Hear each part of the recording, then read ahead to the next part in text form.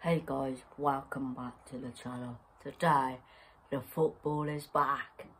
It's back. Taking you Middlesbrough versus West Brom. Come on, you baggies. Hey guys, Alfie asked me to um, score predict 2 1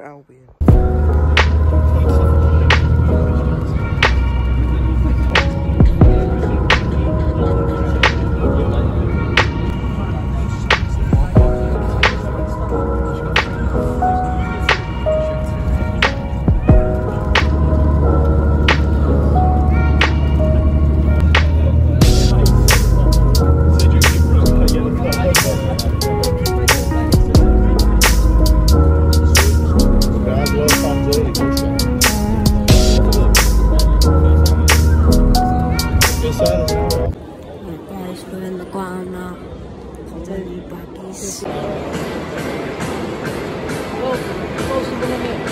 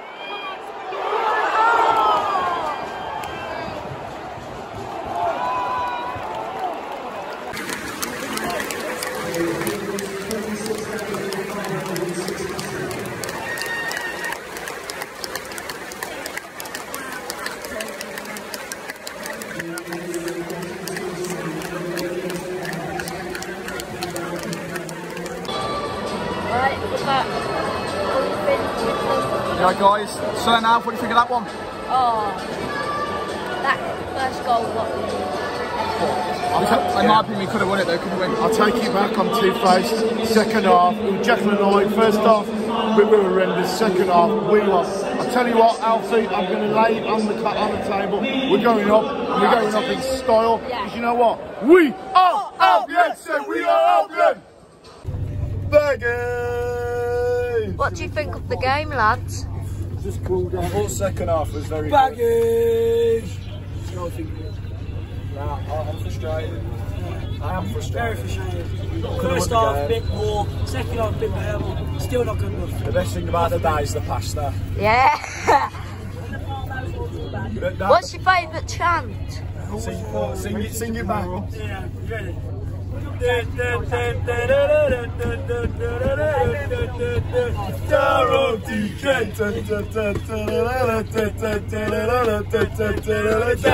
DK. Hey!